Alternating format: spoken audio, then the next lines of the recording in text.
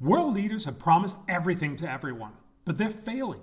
The Sustainable Development Goals literally promise everything like eradicating poverty, hunger, and disease, stopping war and climate change, ending corruption, and fixing education.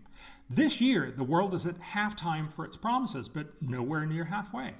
That's why Copenhagen Consensus worked with more than 100 of the world's top economists to identify the world's best solutions using benefit cost analysis.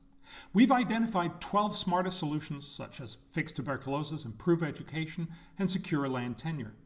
Tackling malnutrition is one of the top 12 smartest solutions for the world.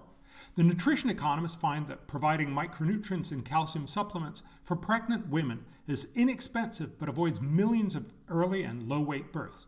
Each one of these children avoid a loss of 5 IQ points, making them more productive in adult life. Thus, each dollar spent delivers an astounding $24 of social benefits. Similarly, complementary feeding promotion, guiding parents to feed their children better, delivers a phenomenal $16 of social benefits for each dollar spent.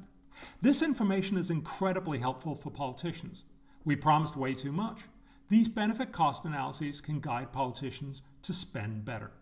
If we can't do everything, let's do the best things first, including on nutrition.